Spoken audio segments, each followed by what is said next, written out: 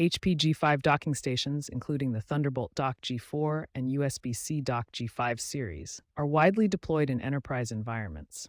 However, users continue to experience several recurring issues. Based on 2025 support data, four main categories of issues dominate user reports.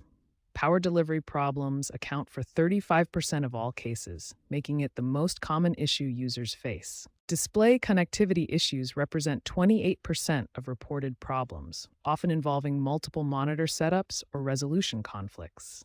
USB device recognition problems affect 22% of users, typically occurring after sleep wake cycles or when connecting new peripherals.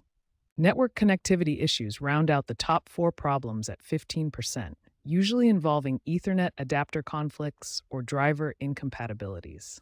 Here's the crucial insight the majority of these issues stem from driver conflicts rather than actual hardware failures. 78% of reported problems can be resolved through proper driver management and power configuration. The solution is straightforward keep your dock's firmware and drivers up to date.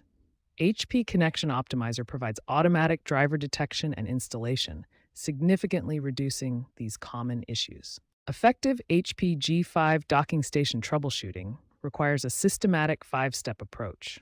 Each step builds upon the previous one to ensure comprehensive problem resolution. First, assess the environment. Check your power source stability, inspect cable integrity for damage or wear, and ensure the ambient temperature is within operating limits. These basic factors cause many connectivity issues. Next, validate your software environment. Ensure drivers are current, Windows updates are installed, and check for security software conflicts that might block docking station communication. Here are the most effective troubleshooting tools ranked by success rate. HP Connection Optimizer leads with 89% effectiveness, followed by Thunderbolt Control Center Reset at 82%. The power cycle procedure is critical for resolving many issues. Disconnect the dock completely, wait 30 seconds, then reconnect. This clears temporary states and resets the connection protocol.